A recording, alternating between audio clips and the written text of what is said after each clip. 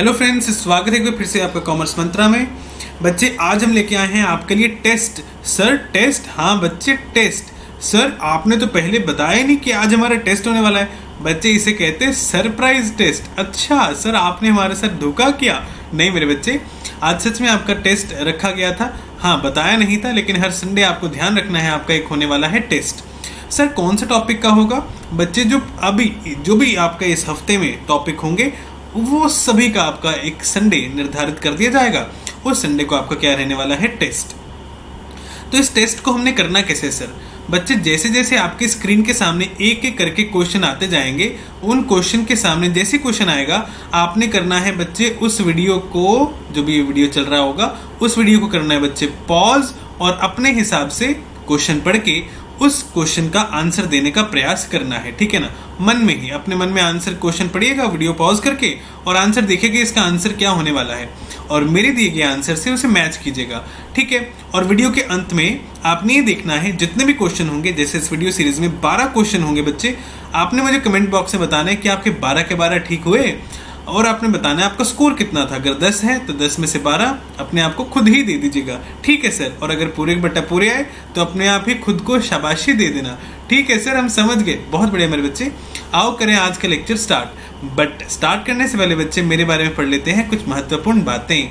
नाम है बच्चे राघव वधवा पेशे से असिस्टेंट प्रोफेसर क्वालिफिकेशन बच्चे एम कॉम हाल ही में जिसने नेट क्वालिफाई किया है, और बच्चे शौक है पढ़ना, पढ़ाना, लिखना और गाना। और आओ बच्चे, ये कोर्स ये टेस्ट ये जिस तरह पढ़ाया जा रहा है, अगर वो सब कुछ पसंद आए तो बच्चे वीडियो को लाइक ज़रूर कीजिएगा। और हाँ अगर बहुत अच्छा लगे तो दूसरों को सहायता भी कीजिएगा, बच्चे शेयर भी कीजिएगा। आओ बच्चे, करें आज का टेस्ट स्टार्ट तो जी, आपके सामने पहला ही प्रश्न छोटू सा क्या कहता है? What is the role of firms in a circular flow of income बच्चे फॉर्म्स का योगदान क्या था? क्यों थी फॉर्म्स क्या गुड्स को परचेज करने के लिए या गुड्स को प्रोड्यूस करने के लिए? या to earn income through wages या कैपिटल देने के लिए? प्लीज़ सोच के बताएँ फर्म्स का योगदान क्या था? बच्चे गुड्स को परचेज करने के लिए थोड़ी होता है उसका योगदान। अल्टीमेटली फॉर्म्स फॉर्म्स को तो क्या करना होता है? जो भी बच्चे हाउस होल्ड सेक्टर होता है, जो भी बच्चे कौन सा सेक्टर होता है? हाउस होल्ड सेक्टर होता है, उसकी क्या करनी होती है बच्चे? डिमांड को फुलफिल हाँ है ना? और कैसे डिमांड फुलफिल करेगा बच्चे? गुड्स गुड्स एंड सर्विसेज़ को प्रोड्यूस करके। तो सही आंसर क्या हुआ मेरे बच्चे? सही आंसर हुआ आपका बी ठीक है बच्चे? अगर आपका ठीक है तो एक नंबर आपके पक्के। आओ बच्चे, चले नेक्स्ट क्वेश्चन की तरफ़। क्या कहता है? आज का दूसरा सवाल। तो क्या कहते हैं? Who earns money who earns money and spend their income on goods and services बच्चे, कौन सा सेक्टर पैसा कमाता है और अपनी उस इनकम को किसमें खर्च कर देता है? गुड्स एंड सर्विसेज़ को खरीदने में खर्च कर देता है। सोचो सोचो। बच्चे, देखो, कौन सा कौन सा सेक्टर पैसा कमाता है? प्लीज़ बोले सर हाउस होल्ड सेक्टर भी कमाता है और कौन कमाता है? फर्म्स भी कमाती है ना? प्रोड्यूसर सेक्टर भी कमाता है। लेकिन उस पैसे को गुड्स एंड सर्विसेज़ को खरीदने में कौन सा सेक्टर यूज़ करता है? आंसर इज़ सी आपका हाउस होल्ड सेक्टर अगर ठीक है तो एक नंबर आपके और पक्के। आओ बच्चे, चले नेक्स्ट क्वेश्चन की तरफ़। सर तो बहुत आसान है। हाँ मेरे बच्चे, अगर आती हुई चीज़ है आपको तो आसान ही लगेगी ना। अगर नहीं आती तो मुश्किल होती है। आओ देखिए क्या कहता है। The two primary players in the the two primary players in the circular flow model are क्या कहते हैं? बच्चे, दो प्राइमरी दो प्राइमरी प्लेयर्स कौन होते हैं सर्कुलर फ्लो में? ये आपने बताना है। यस सर्कुलर फ्लो में दो प्राइमरी प्लेयर्स कौन है? अब सर ये प्राइमरी प्लेयर्स क्या होता है? बच्चे, आपको याद है, जब हमने circular flow of income start किया था ना, कौन सा टॉपिक स्टार्ट किया था? जब हमने क्या स्टार्ट किया था? सर्कुलर फ्लो ऑफ़ इनकम उस टाइम आपको बताया गया था कि इकोनॉमी में ना काफ़ी सारे सेक्टर होते हैं। जैसे एक होता है बच्चे आपका हाउस होल्ड सेक्टर प्लीज़ समझना बड़े ध्यान से। एक होता है आपका हाउस होल्ड सेक्टर एक होता है आपका प्रोड्यूसर सेक्टर इसके अलावा बच्चे तीसरा भी होता है सरकारी सेक्टर गवर्नमेंट गवर्नमेंट के साथ साथ बच्चे और कौन आता है आपका? बाहरी सेक्टर जैसे हम क्या बोलते हैं? फॉरेन सेक्टर ठीक है ना? जैसे इम्पोर्ट एक्सपोर्ट भी तो करते हो आप हाँ है ना? तो यस इसका टेक्निकल नेम आगे जाके समझ आ जाएगा आपको, लेकिन अभी के लिए मान लीजिए फॉरेन सेक्टर ठीक है ना? तो जब हमने सर्कुलर फ्लो ऑफ़ इनकम किया था ना बच्चे, उसमें हमने आपको चीज़ बताई थी कि बच्चे, जो हम आज सर्कुलर फ्लो ऑफ़ इनकम पहली क्लास में पढ़ रहे थे ना, आज जो हम सर्कुलर फ्लो ऑफ़ इनकम पढ़ रहे हैं ना, उसमें सिर्फ़ कौन से सेक्टर होंगे? हाउस होल्ड और प्रोड्यूसर सेक्टर ठीक है ना? और इसी बच्चे हम क्या बोलते हैं? टू सेक्टर इकोनॉमी हालाँकि हम पढ़ेंगे आगे जाके कि two sector economy three sector economy और फोर सेक्टर इकोनॉमी क्या होती है, हम आगे जाके पढ़ेंगे।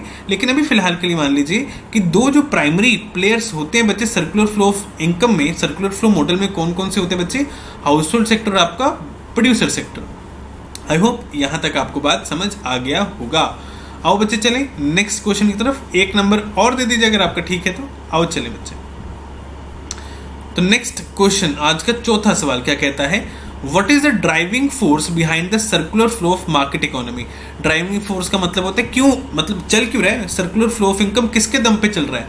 जो भी आपका मार्केट इकोनॉमी है, उसमें सर्कुलर फ्लो चल रहा है, किसके दम पे चल रहा है?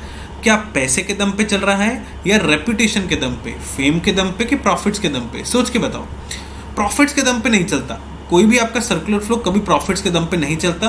फेम गलत जवाब है। रेपुटेशन भी रेपुटेशन के बेसिस पे नहीं चलता। Yes the answer is a money पैसे के दम पे। सबको क्या चाहिए मेरे बच्चे? पैसा। बात समझ रहे हैं?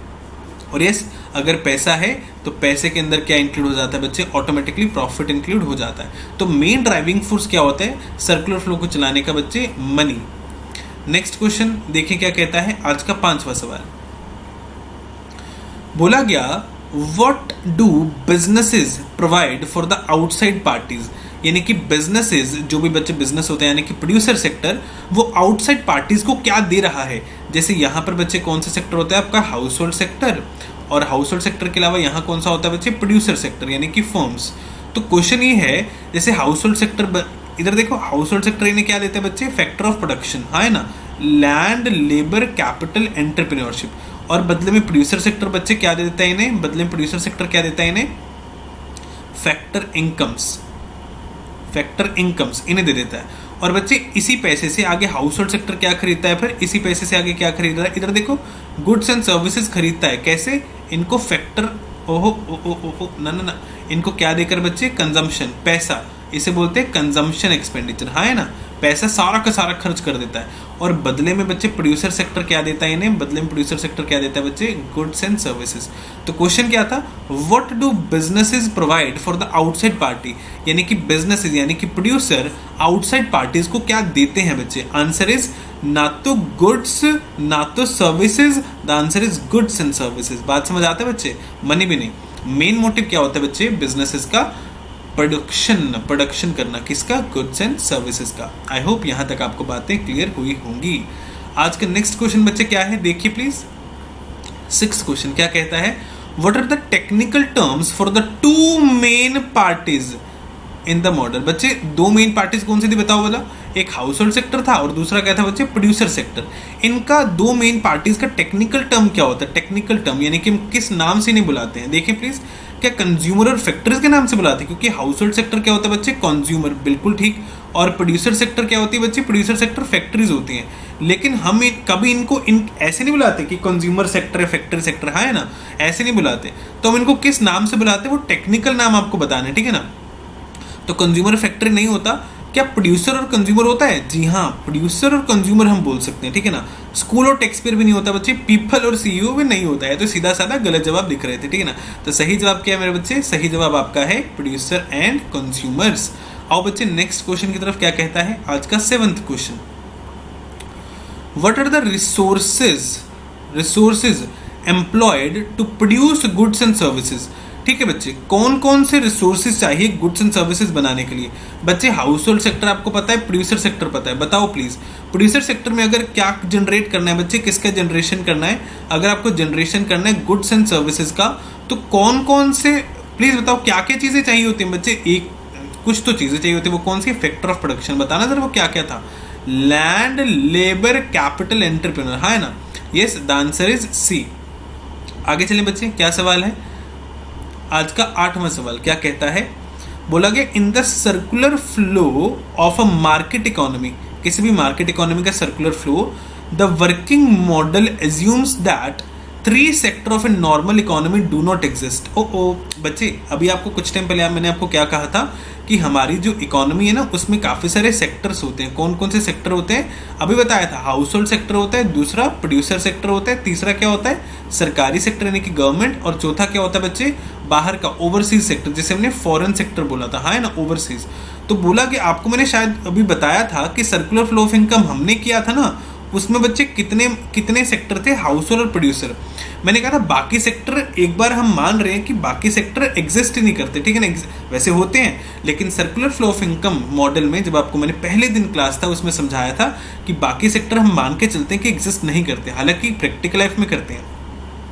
तो yes, in the circular flow of market economy, working model assumes that three sector of a normal economy do not exist वो कौन से सेक्टर थे जो एग्जिस्ट नहीं करते? हमारे मॉडल के तहत एक तो फाइनेंशियल सेक्टर एक तो फाइनेंशियल सेक्टर एग्जिस्ट नहीं करता। इसके अलावा ओवरसीज सेक्टर ओवरसीज का मतलब होता है बाहरी सेक्टर और तीसरा कौन सा सेक्टर वो आपको बताना है कि जुडिशियल नहीं ऐसे तो किसी सेक्टर ने सुना ही नहीं। मार्केट बिल्कुल गलत जवाब। गवर्नमेंट यस राइट आंसर और रेगुलेटरी भी आपका गलत जवाब। Yes the answer is C next question बच्चे, क्या है आपका? आज का नौवा सवाल। क्या कहता है? The circular flow of a market economy also assume that consumer spends all their money on goods, services and consumption. ठीक है, बिल्कुल ठीक। कि क्या क्वेश्चन है बच्चे? Circular flow of a market economy क्या एज्यूम करता है? कि कंज्यूमर ना सारा का सारा पैसा spends all their money on good service and consumption this means that there is no dash on the part of consumer सोच के बताओ मेरे बच्चे, इधर देखो, आपका ये हाउस होल्ड सेक्टर है, ये कौन सा बच्चे प्रोड्यूसर सेक्टर हम जानते हैं। इधर देखो, अगर मैं बोलूँ हाउस होल्ड सेक्टर ने इसे क्या दे दिया बच्चे? फैक्टर ऑफ़ प्रोडक्शन दे दिया क्या दे दिया बच्चे? Factor of production producer sector बदले में क्या देता है इसके? प्लीज़ बताना। इसे देता है फैक्टर इनकम क्या दे रहा है बच्चे? हाउस होल्ड सेक्टर को फैक्टर इनकम अब हाउस होल्ड सेक्टर ने क्या कमा लिया बच्चे? पैसा कमा लिया। प्लीज़ बताओ, ये जो पैसा हाउस होल्ड सेक्टर ने कमाया, सारा का सारा कहाँ यूज़ हो जाता है बच्चे? इधर देखो ये सारा का सारा, इधर देखें प्लीज़ सारा का सारा पैसा कहाँ चला जाता है? प्रोड्यूसर सेक्टर के पास किस लिए? सारा का सारा कंज्यूम हो जाता है, ठीक है ना? पैसा सारा का सारा खर्च हो जाता है एक्सपेंडिचर में। और बदले में प्रोड्यूसर सेक्टर क्या देता है बच्चे? गुड्स एंड सर्विसेज़ सवाल पता है क्या है? अगर हाउस होल्ड सेक्टर इधर देखो बच्चे, अगर हाउस होल्ड सेक्टर एज्यूम कर रहे हैं एज्यूम अगर हाउस होल्ड सेक्टर कंज्यूमर यानी कि दैट मीन्स कंज्यूमर अपनी जो इनकम है उसमें से सारा का सारा पैसा स्पेंड कर देते कहाँ पर? गुड्स सर्विसेज़ और कंजम्पशन पर। इसका मतलब क्या है? क्या हाउस होल्ड सेक्टर ने कोई सेविंग की है? जी नहीं बच्चे, कोई सेविंग ही नहीं की। इसका मतलब क्या है? This means there is no saving on the part of consumer yes the answer is A I hope आपको यहाँ तक बात समझ आई होगी। ये भी गलत, ये भी गलत और ये भी आपका गलत जवाब। नेक्स्ट क्वेश्चन क्या है बच्चे? देखिए प्लीज़ क्वेश्चन नंबर टेन क्या बात करता है? Businesses provide a and dash to household through employment इसका मतलब क्या है? कि बिजनेसेस क्या क्या दे रहे हैं? ए तो दे रहे हैं, इधर देखो।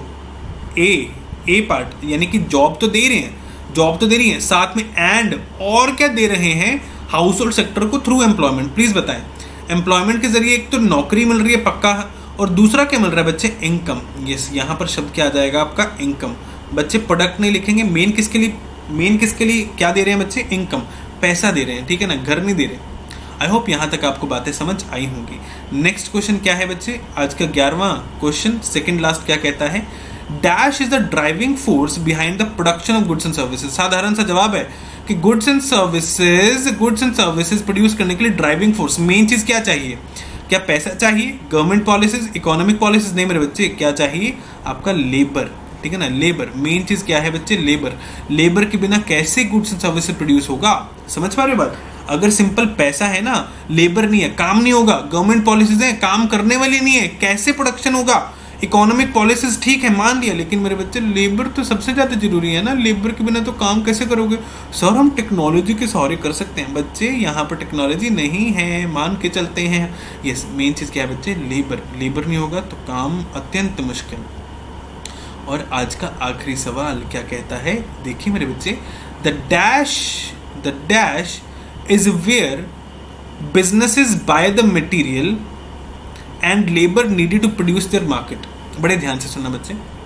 वो कौन सी जगह है जहाँ पर वेर बिज़नेस जहाँ पर बिज़नेस मटेरियल्स खरीदते हैं, जहाँ पर बिजनेसेस मटेरियल्स खरीद रहे हैं and labour needed to produce their product और उन्हें लेबर भी चाहिए। वो कौन सा मार्केट है? क्या वो मटेरियल मार्केट है? नहीं मटेरियल में लेबर शब्द नहीं इंक्लूड होता, ठीक है ना? क्या वो एम्प्लॉयमेंट मार्केट है? एम्प्लॉयमेंट में सिर्फ़ लेबर शब्द आ रहा है। मटेरियल नहीं आ रहा। क्या वो काला बाज़ार है? ठीक है ना? ब्लैक मार्केट नहीं मेरे बच्चे। ये तीनों नहीं है। The right answer is resource market क्योंकि रिसोर्सेज बच्चे दो तरह के होते हैं। रिसोर्सेज दो तरह के होते हैं। एक आपका रॉ मटेरियल होता है रिसोर्स और दूसरा क्या होता है बच्चे? ह्यूमन रिसोर्स ह्यूमन रिसोर्स बच्चे ह्यूमन रिसोर्सेज क्या होते हैं? लेबर आपका लेबर इसके अलावा जो एम्प्लॉयज़ आपके बिज़नेस में काम करते हैं, वो क्या होते हैं बच्चे? ह्यूमन रिसोर्सेज समझ पा रहे हो बात? तो सही आंसर क्या है? किसी भी बिज़नेस को कौन सा मार्केट चाहिए होता है? रिसोर्स मार्केट जहाँ पर आसानी से क्या मिल जाए? रॉ मटेरियल भी मिल जाए और आसानी से ह्यूमन रिसोर्सेज मिल जाए। आई होप आपको यहाँ तक चीज़ें क्लियर हुई होंगी। बच्चे प्लीज़ ये था आज का बारह सवाल, आपका आज का टेस्ट यस प्लीज़ मुझे कमेंट बॉक्स में जल्दी से बताएँ किसके बारह बटा बारह मार्क्स है और किसके नहीं आए। ठीक है बच्चे, आज के लिए इस क्लास में इतना ही। मिलते हैं कल। Thanks for listening